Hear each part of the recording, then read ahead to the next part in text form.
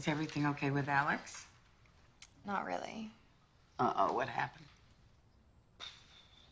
Alex and I were supposed to have sex today.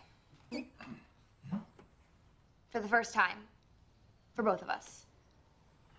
I wanted it to be magical, and I'm realizing that it's hard to plan something to be magical, you know? Yes, that, that, it is. Love can't be planned. It's not love she's talking about, Edgar. It is sex. He's he's going to Stanford. I'm going to Yale, and it's just hit me recently that it's gonna be really hard to stay together.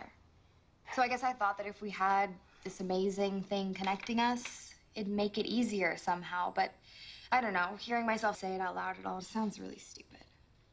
And it's not like I'm gonna sleep with one person for the rest of my life, right? I mean, that's just crazy. Who does that? Crazy people like us, we did. No.